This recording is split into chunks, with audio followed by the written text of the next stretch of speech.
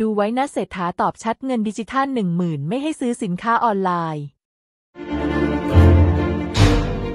วันที่ 21 กันยายนตามเวลาท้องถิ่นสหรัฐนายเศรษฐาทวีสินนายกรัฐมนตรี และรัฐมนตรีว่าการกระทรวงการคลังกล่าวตอนหนึ่ง ระหว่างพบกับชุมชนไทยว่านโยบายดิจิทัลวอลเล็ต10,000 บาท ถือเป็นนโยบายหลักของรัฐบาล เพราะเชื่อว่าประเทศต้องการกระตุ้นเศรษฐกิจครั้งยิ่งใหญ่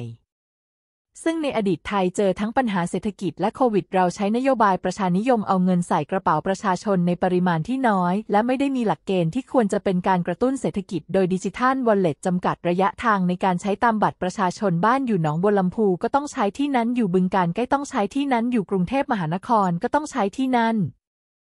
ระยะเวลาในการใช้ 6 เดือนประเภทสินค้าก็มีความสำคัญไม่สามารถสินค้าอบายมุกสินค้าออนไลน์ได้ เพราะไม่ได้กระตุ้นเศรษฐกิจภูมิภาคตามที่เราต้องการทั้งนี้จะเร่งดำเนินการอย่างเร่งด่วนที่สุดนายกกล่าว